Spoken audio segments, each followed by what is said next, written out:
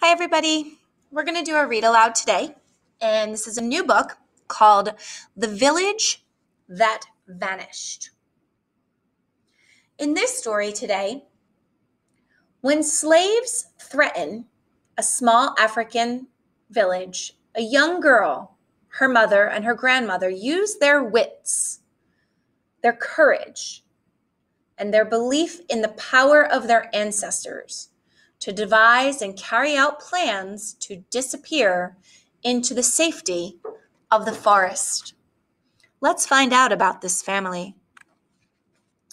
The village that vanished.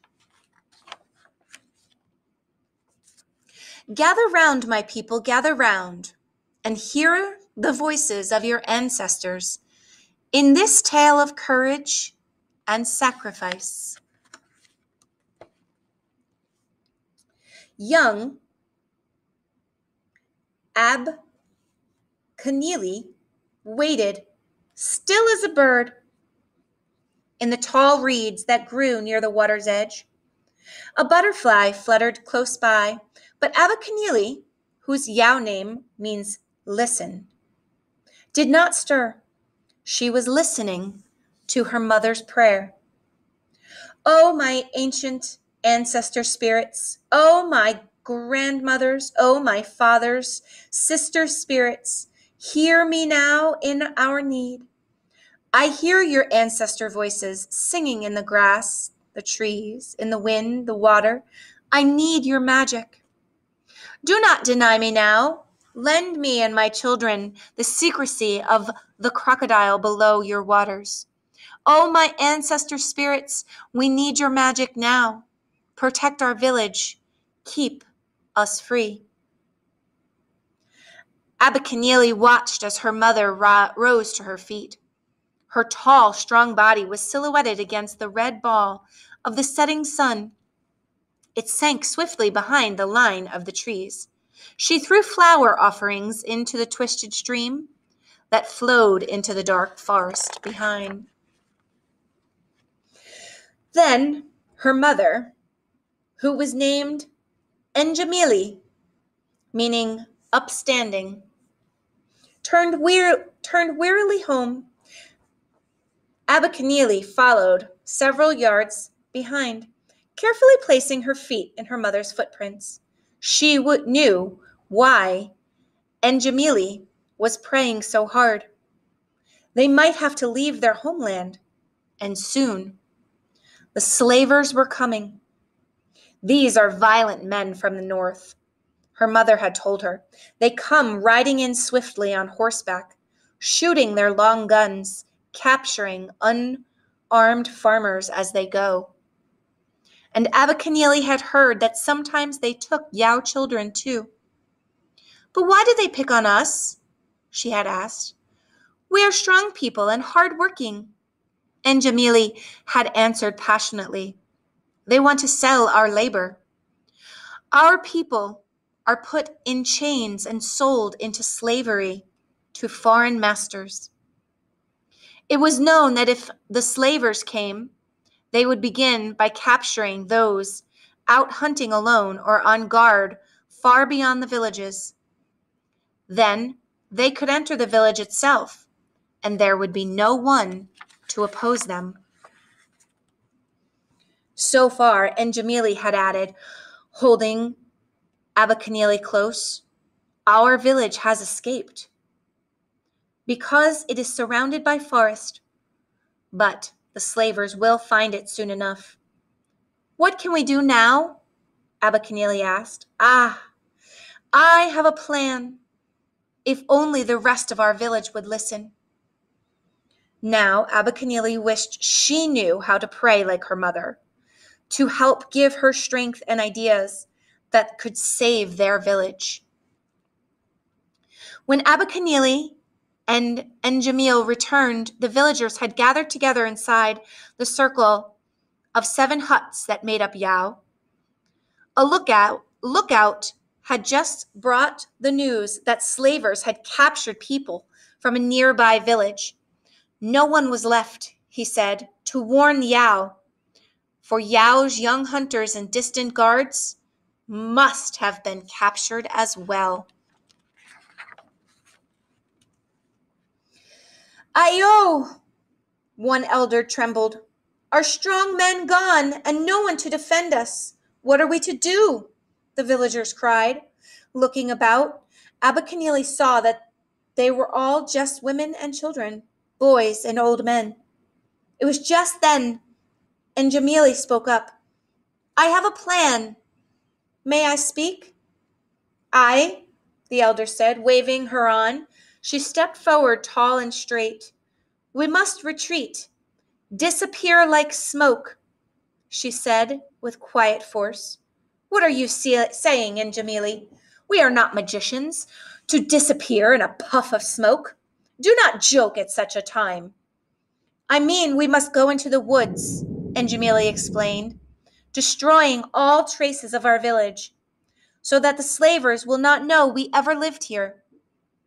Then they will not follow us across the river not even into the deep forest. And she ended firmly, We must live there until they pass.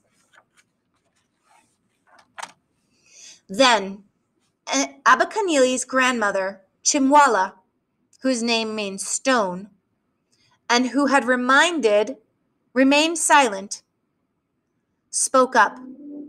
Yes, to protect our children, we must go swiftly and soon.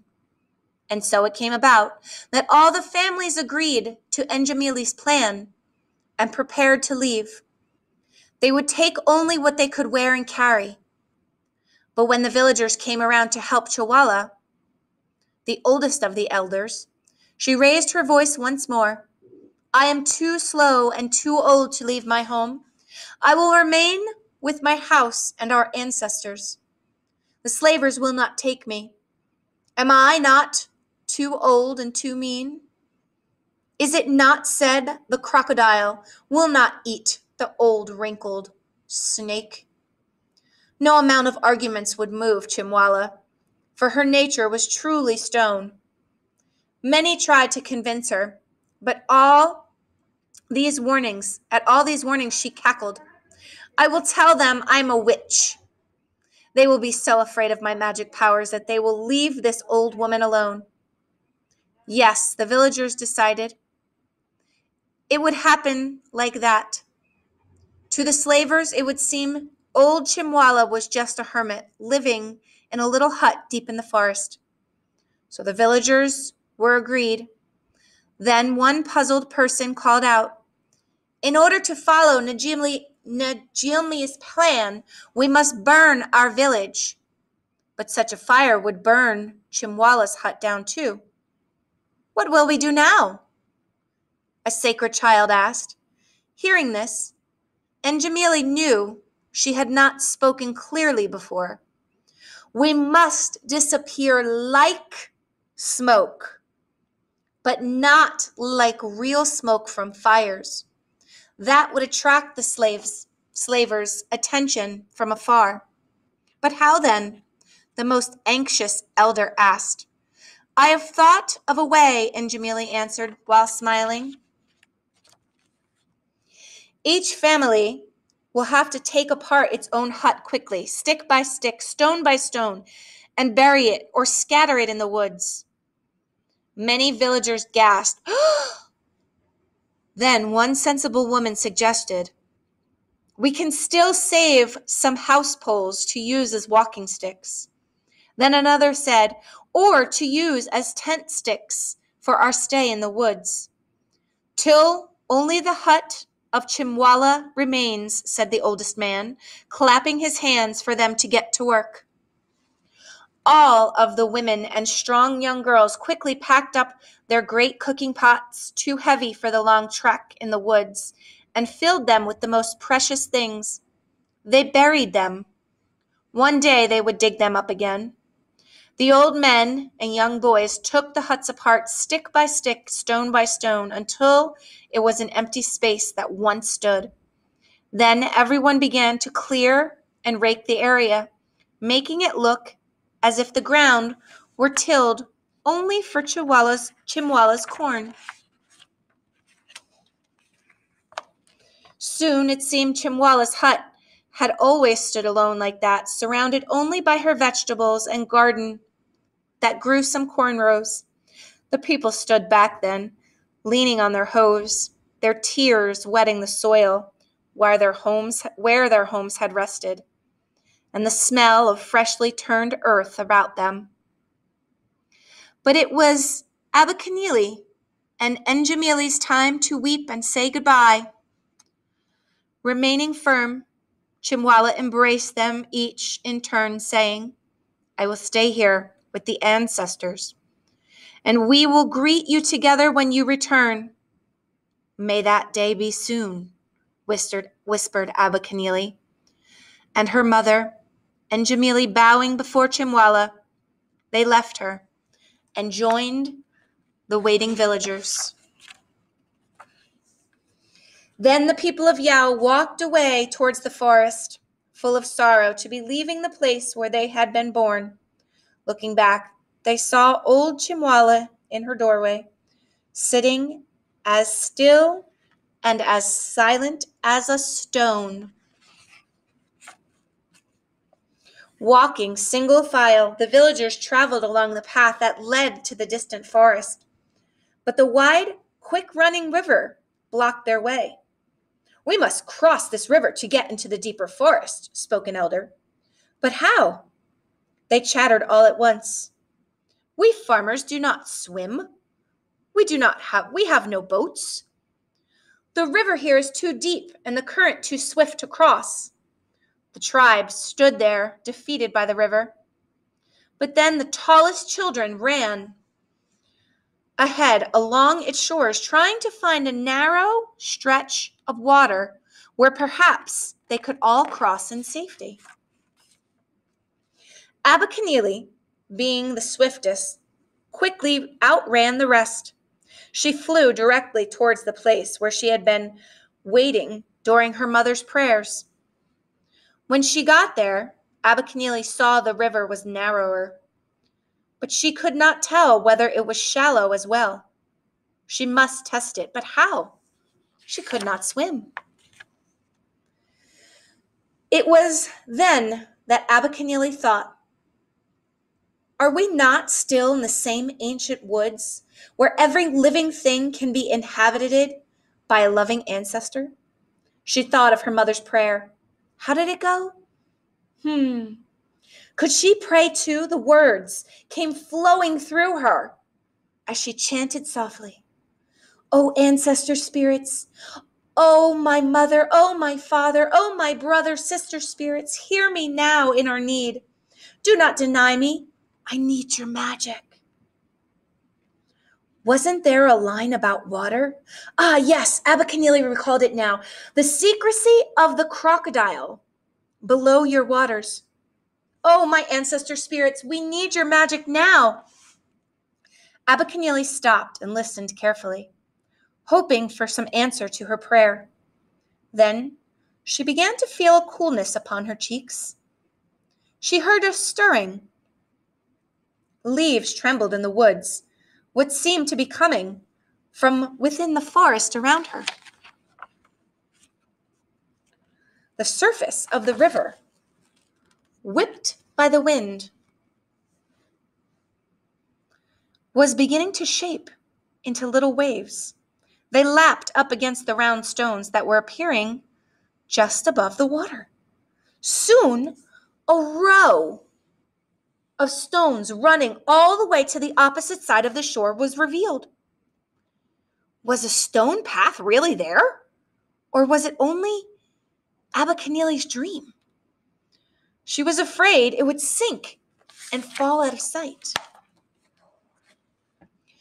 Trying to be at least as brave as her grandmother, Abba Abikanili put one bare foot on the slippery but solid stone. Then she put another foot upon the next, and the next, more and more bravely until she was dancing across the river. When Abba Abikanili reached the last stone, she called back, Come, I have found it. There is a path across the water. By this time, the rest of the people had caught up, only to see Abba Abikanili standing upon the water. Magic! they all exclaimed, even her mother. They were afraid Abikanili would suddenly drop out of sight into the rushing waters and drown. See? Abikanili laughed out loud. It is the stones beneath the water. They run all the way across. Then she danced her way back and forth and back and forth again. See? She repeated, repeated from the other shore. It is safe. Come. The people gathered at the edge of the river, but they were too timid to trust themselves into the swirling waters. Lacking faith, they saw no stones. Seeing this, the ancestral spirits ceased blowing upon the waters. Were these their children? Then Njamili, the upstanding, spoke up once again, scolding, Have we no shame at all? Are we too afraid to follow? Does it take the sacrifice of an old woman and the bravery of a small child to teach us how to behave? Let us go over now before our foolish fear loses both our tribe and our future. Saying so, Abikanili's mother put one foot into the water and then another, determined to find the stones because she believed in her daughter's courage. The ancestor spirits blew mightily, once more revealing to Njamili each and every stone beneath the rippling water.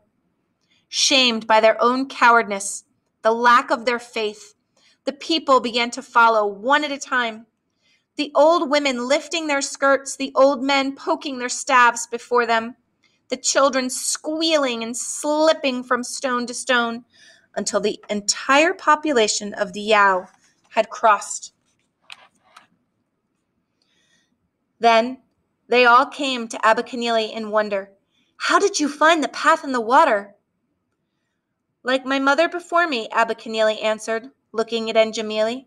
I prayed to the ancestor spirits, and they showed me the way. Hearing this, her mother hugged her brave daughter. Once, Abikanili and her people had left the river. They settled deep into the woods, quickly making simple shelter under the tree. For food, the women and small children scattered about, picking berries from bushes and nuts from trees. The old men and boys hunting, catching small animals and fish from streams. And so it went. They knew they would survive. But had Chimwala survived as well? The slavers did come to the village of Yao, or where it once stood, riding in, whooping and hollering, firing shots about to frighten all into submission. Suddenly they stopped in their tracks, mouths dropped open. They lowered their weapons for they saw only the single hut, surrounded by tall rows of corn and crops of beans and yams newly planted. Rushing up to the door where Chimwala sat calmly, shelling peas. The chief slaver demanded suspicious, suspiciously, How is it you can live in these woods alone? Chimwala answered with a fierce glint in her eye, I am a soothsayer. I search for scattered herbs within these woods. I use these for magic potions. But then the man pointed to the newly planted rows. If you live alone, what about these? They look freshly planted to me. Surely this must is much more than you could plant alone. Calm as a stone, Chimwala answered. My distant kin used to come and plant it for me, but now they come no more. I can tend only to a few of these rows. Not quite convinced, the chief sent his men off the beaten path, path into the bushes. All about, just to be sure, there were no people hiding in the woods. Hours later, the exhausted trackers returned, reporting there was no one anywhere to be found. We went all the way to the river. There's no evidence of boats near there, and there's no way anyone could cross to that other side. Angry at the loss of slaves he might otherwise have captured, the chief gathered his men, saying, We have been wasting our time here. There is nothing for us in these woods, and there never was.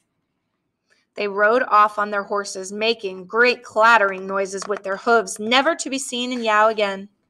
And Chimwala, sitting in her doorway, watched them go, with a faint smile etched on her stony face.